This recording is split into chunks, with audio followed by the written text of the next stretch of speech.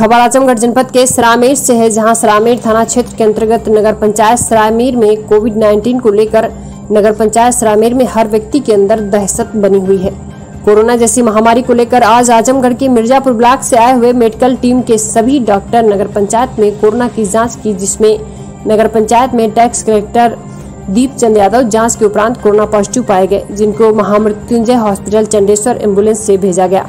वहीं नगर पंचायत सरामीर के अधिशासी अधिकारी रंग बहादुर सिंह, नगर पंचायत के चेयरमैन राम प्रकाश यादव और पूरे वार्ड के सफ़ाई नायक सत्यनारायण भास्कर पूरे टीम के साथ मौके पर मौजूद रहे। आजमगढ़ फूलपुर से कुमार जन्म यादव की रिपोर्ट।